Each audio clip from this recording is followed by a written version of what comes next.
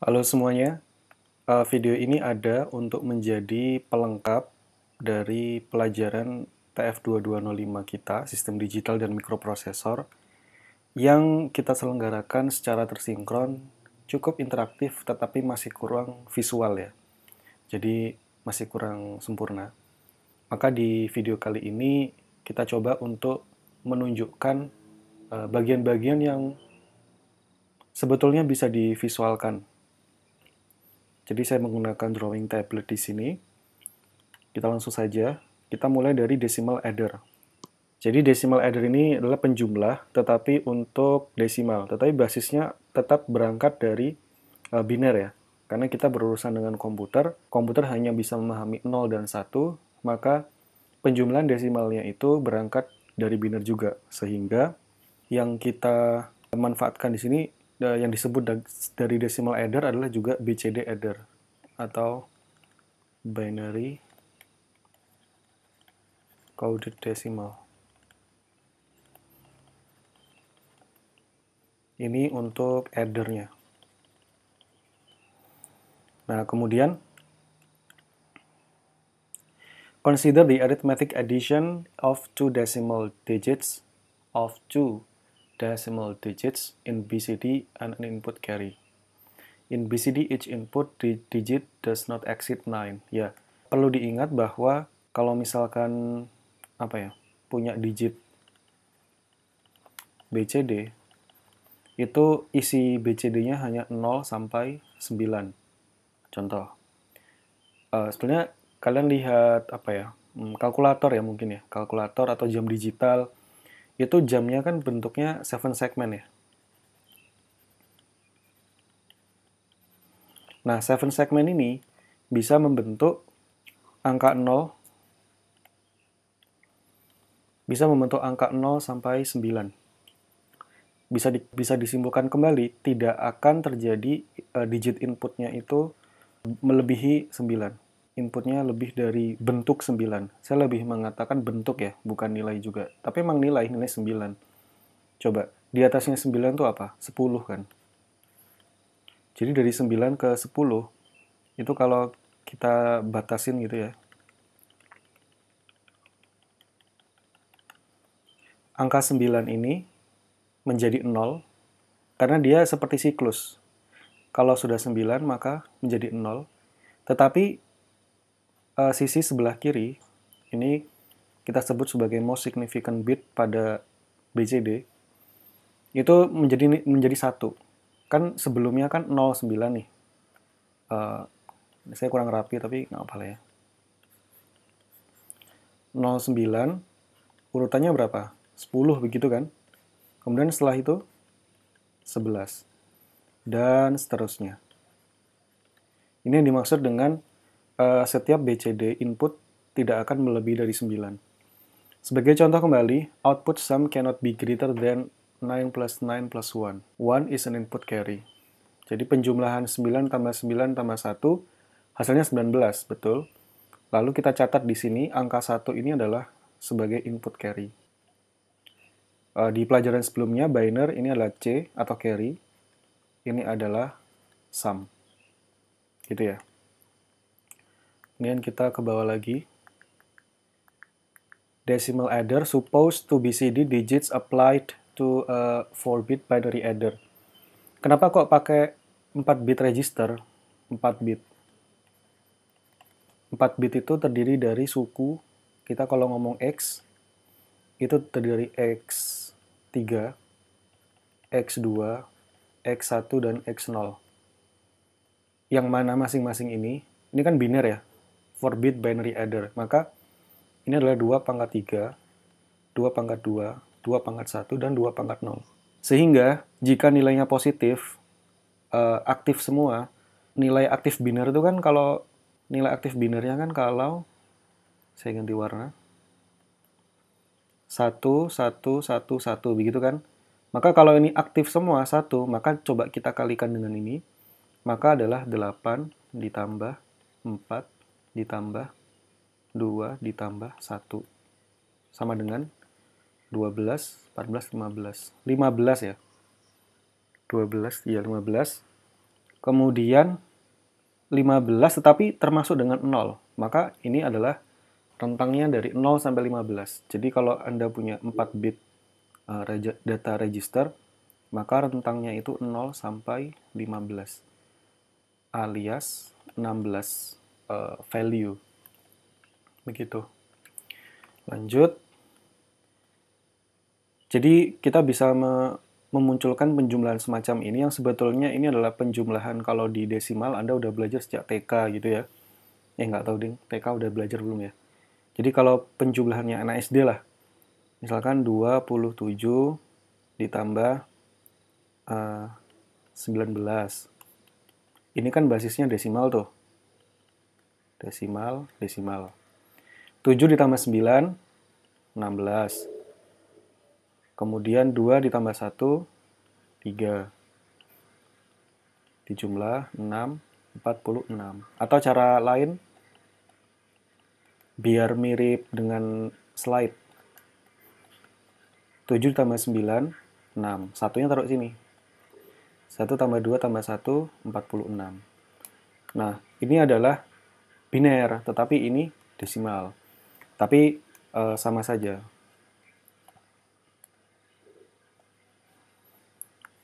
lanjut hmm. sehingga kalau bisa kita sampaikan uh, 27 basis biner ini uh, terdiri dari X1 dan X0 misalkan. Kemudian ini adalah Y1 dan Y0. Kemudian yang paling atas di sini yang kita miliki adalah C1. Kemudian di bawah sini yang kita miliki adalah CY dan uh, S0.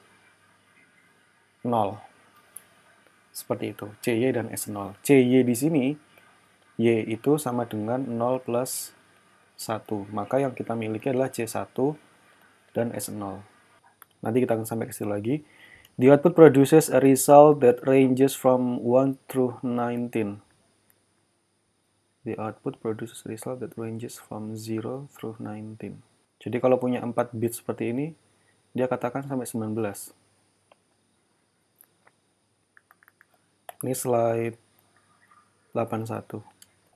Kita cek 2 pangkat 2 pangkat 4 berapa? 16. Ini agak belum bisa saya jelaskan. Kita lanjut dulu. Decimal adder Nah, ini kita harus membacanya tiap baris ya. Membaca tiap-tiap baris. Kemudian kita fokus di misalkan ini. Untuk penjumlahan 1 ditambah 9, hasilnya adalah 10 kan. Jadi kalau kita ngomong BCD, setiap BCD itu, kalau kita punya kotak, misalkan terdiri dari dua digit, maka isian kotak ini hanya bisa diisi oleh 0 sampai 9. 0 sampai 9. Untuk membentuk BCD 10, berarti kan bentuknya 1 0 begini kan? Nah, untuk dis, untuk bentuk binernya, maka 1 itu bagaimana? 0 0 0 1. Kemudian 0 adalah 0 0 0. Ini adalah kode BCD yang benar. Adapun jika Anda ter, Anda memaksakan diri untuk menjumlahkan dengan penjumlahan seperti ini, jadi menjumlahkannya dari biner. Misalkan uh, gimana ya? 1 ditambah 9. Hasilnya 10 kan? Kita ubah ke biner. Binernya adalah 001, 9 adalah 1001. Jika dijumlah langsung, maka bentuknya adalah 1010. Dan ini adalah salah. Ini salah. Ini ya, invalid code. Nggak boleh. Ini tidak ini tidak ekivalen dengan 10. Ya, ini nilainya 10, bisa 10, tetapi ini 10 dalam bentuk biner biasa. Sementara kalau kita ngomong BCD, yang benar adalah yang ini, ini BCD yang benar untuk merepresentasikan uh, bilangan 10. Ini ya, bilangan 10. Kemudian kita lanjut ke bentuk misalkan 9 tambah 9. 9 ditambah 9. Hasilnya adalah 18. Kita ubah ke biner. 9 itu adalah 1, 0 di jumlah. Hasilnya adalah 10, 0, 10. Gitu kan? Nah, ini juga salah. Yang benar bagaimana? Ya ingat aja bahwa bentuknya adalah 18. Karena dia di harus kita convert itu per bentuk ya. Ada satu, ada 8. Ya berarti tinggal kita bikin kotak gitu ya.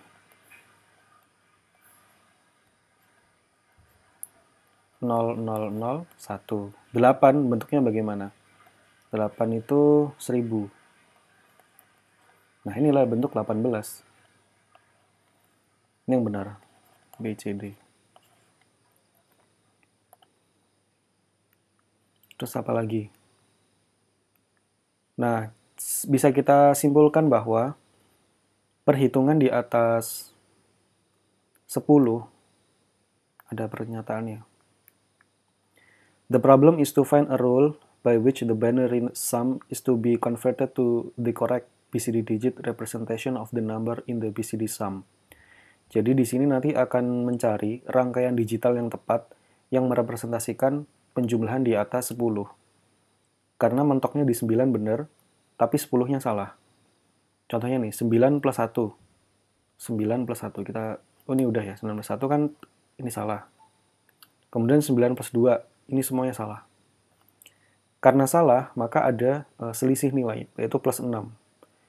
Jadi, Anda perhatikanlah pelan-pelan di sini, pelajari itu uh, ketidaktepatan value sum-nya.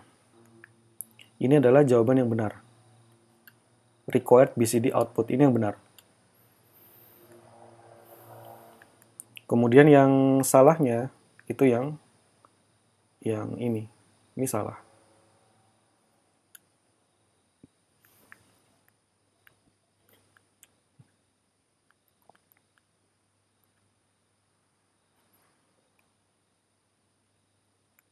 Ini in examining the contents of the table when the binary sum equal to 1001 the corresponding BCD number is identical. Ya kebetulan aja bentuk biner ini saya bin gitu ya bentuk bin 101 desimalnya 9 BCD nya 101 ini sama identical tetapi mulai tidak mulai tidak identikal jika binary sum-nya itu di atas 1001. Jadi kalau kita ngomong 1010, nah ini mulai ngaco. Ini mulai salah. Ini tidak ini tidak representatif dengan uh, bilangan 10 pada desimal. Ini tidak. Karena kita kalau kita mau BCD, bentuknya tadi kan yang benar ini. Ini 1, ini 0. Gitu. Kemudian the addition of 6 is required. Nah, nanti perlu ditambahkan 6 karena ada pergeseran. Correction is needed when k equal to 1. Apa itu k? K-nya di atas harus. Ini k. Jadi k itu kode untuk ada petunjuknya nggak? K itu baru K ini kan semua zero. Ini semua zero. Kemudian dia baru satu ketika di atas uh, 16. Jadi 16 dan seterusnya. Correction is needed when K equal to 1. Correction is needed from nah ini 10 10 nah ini. Mulai dari ini harus ada koreksi sampai 1111. Ini kalau secara desimal maksudnya adalah 15 ya. Pada desimal. Eh, iya pada desimal. Tapi pada BCD salah. BCD-nya ini ngawur. Kalau 15 itu kan bentuknya kan 1 dan 5 gitu. Ya kan? Kalau 1 kan 0, 0, 0, 1. Kalau 5, 5 itu 2 pangkat 2. Gini. Ini 5. Ini berarti ini adalah kode BCD yang benar.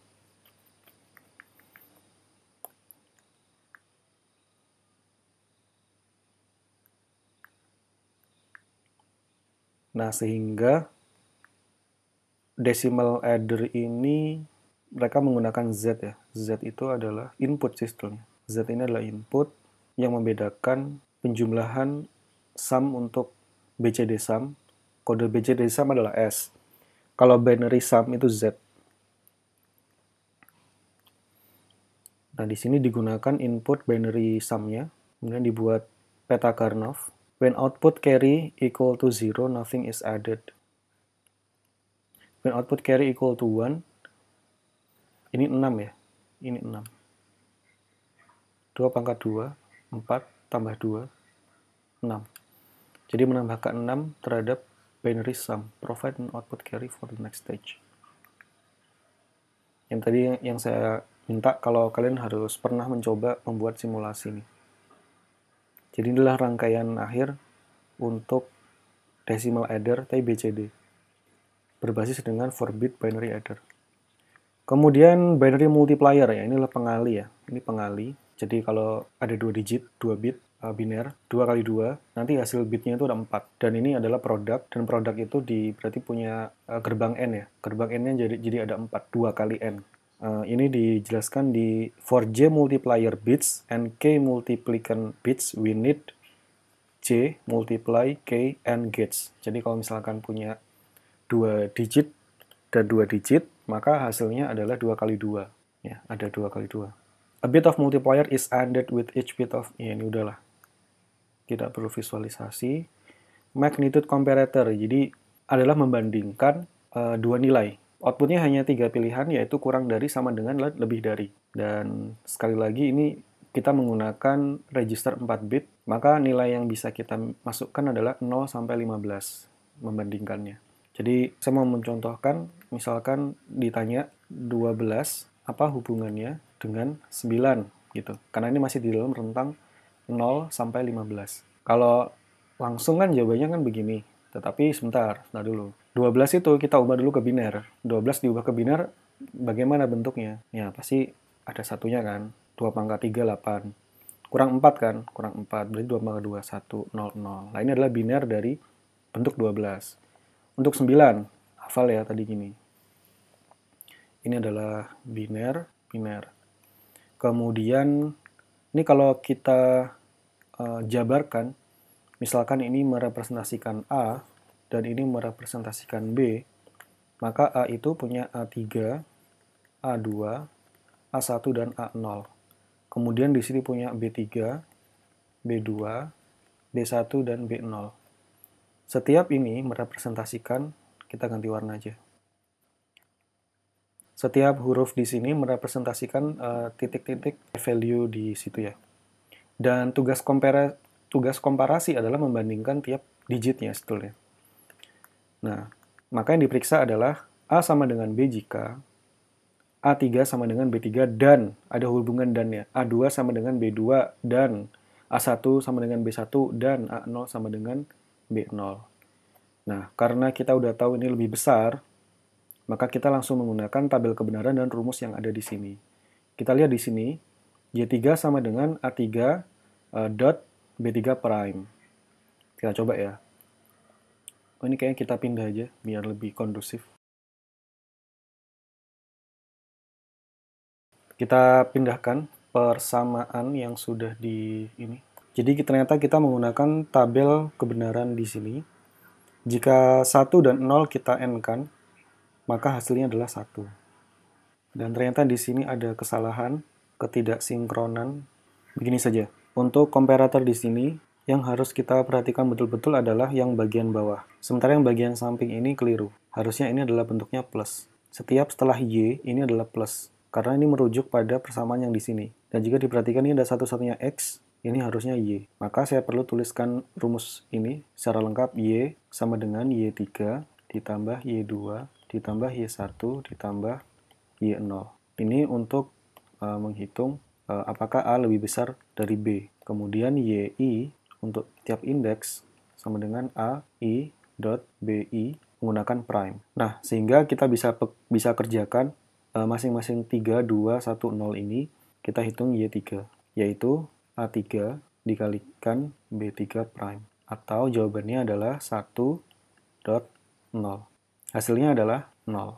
Kita lanjut ke Y2. Y2 itu kalau bisa jangan langsung masukkan Y3. Ini keliru. Harusnya ini ke arah Y total. Jadi Y2 itu adalah A2 dot B 2 prime sama dengan 1 dot 1 begitu kan? Hasilnya 1. Y1 A1 dot B1 prime 0 1 0. Y0 A0 B0 prime 0 0 sama dengan kita lihatnya di sini 1 eh 0 sehingga satu-satunya yang satu adalah di sini nah sementara itu rumus lengkap dari Y adalah Y sama dengan Y3 ini semua, maka saya masukkan seluruh nilai ini. 0, OR 1, OR 0, OR 0. Y sama dengan 1. Karena Y sama YI, ini adalah uh, YI, A lebih besar dari B, tercapai, maka benar, benarlah nilai bahwa A1 lebih besar dari B1. Ini penjelasannya seperti itu. Kemudian kita perlu cek juga yang A sama dengan B ya, apakah sudah benar. Misalkan kita punya nilai 8 sama dengan 8. Kita tahu bentuknya adalah 1000. 1000. Ini merepresentasikan A, merepresentasikan B. Kita coba dari rumus yang di bawah ini, kan seperti ini ya.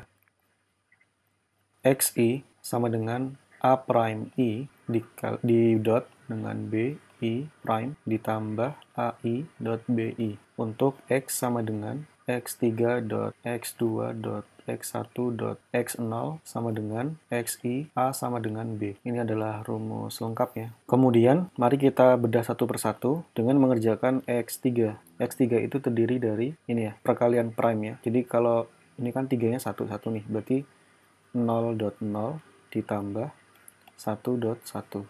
Jawabannya berapa? 1. X2. Karena ini 0 semua, maka X2 sama dengan X1 sama dengan X0. Jadi kita tidak perlu menghitung semuanya. Itu smart move namanya. Jadi kalau ini 0, maka uh, uh, prime-nya adalah 1.1 plus 0.0 sama dengan 1. Lalu kita masukkan ke dalam hasil perhitungan akhir. Ini ya, pakai rumus ini. Hasilnya adalah 1.1.1.1.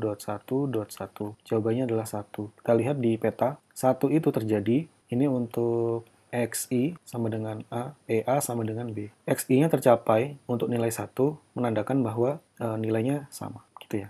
Kita cek lagi, magnitude comparator untuk yang pengurangan. Nah ini, kayak ini salah juga ini kayaknya. Tanda Tandanya salah. Contohnya adalah 2 kurang dari 5. 2 itu kalau kita tahu adalah 0, 0, 10. Kalau 5 itu 0, 1, 0, 1. Ini merepresentasikan A, ini merepresentasikan B. Dan bentuk persamanya adalah Z. Kita tuliskan dulu. Ini ZI, ZI sama dengan A, I prime dikalikan BI prime.